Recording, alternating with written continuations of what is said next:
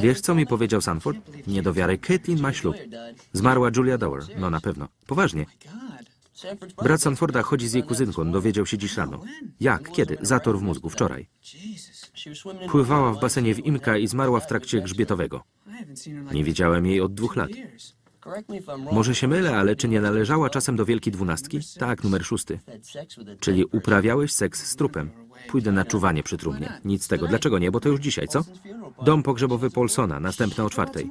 Cholera, a jutro? Tylko jeden dzień, jutro pogrzeb. Musisz pilnować sklepu, muszę tam iść. Czekaj, przyszło ci do głowy, że ja też mogę być w żałobie? Prawie jej nie znałeś, fakt.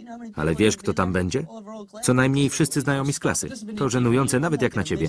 Nie odpuszczę sobie najważniejszego towarzyskiego wydarzenia sezonu. Nienawidzisz ludzi. Ale kocham zgromadzenia, ironia losu. Przestań. Przestań być dupkiem. Ktoś musi pilnować sklepu. Jak ty pójdziesz, to ja też. Nic dla ciebie nie znaczyła, dla ciebie też nie.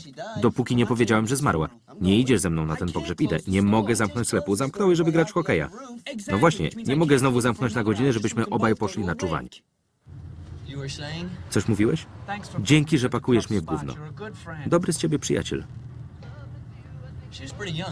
Młoda była? 22 lata, tyle co my. Zator w basenie. Żenująca śmierć. Mój kuzyn Walter miał jeszcze gorszą. Jak zmarł? Skręcił sobie kark. Co w tym żenującego? Próbował sam sobie obciągnąć. Nie wierzę. Słowo daję. Daj spokój, to święta prawda. Rany. A co, sam nigdy nie próbowałeś? Nie. Akurat. Masz zahamowanie. Bo nie próbowałem sobie obciągnąć? Nie, bo się nie przyznajesz. Ludzie myślą, że ktoś jest zboczony, bo próbuje sobie sam obciągnąć. Jesteś tak samo ciekawy jak reszta i próbowałeś. Ty go znalazłeś? Moja matka. Masakra. Leżał na łóżku. Nogi na głowie. Matka odleciała.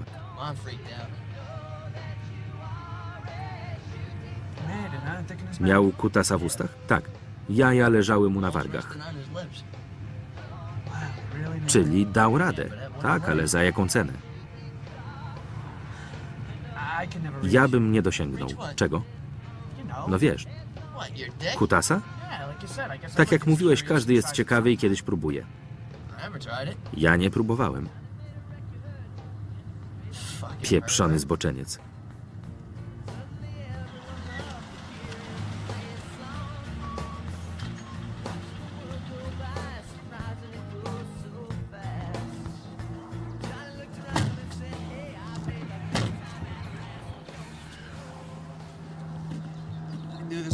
Wiedziałem, że nie powinniśmy zamykać sklepu. Znowu pękasz. Nic nie poradzę. Jak graliśmy, to przynajmniej widziałem, kto przyszedł.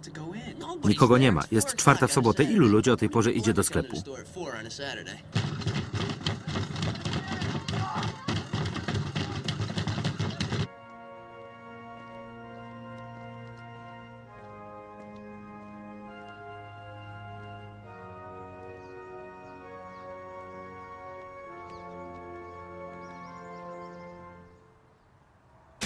Pięć minut później.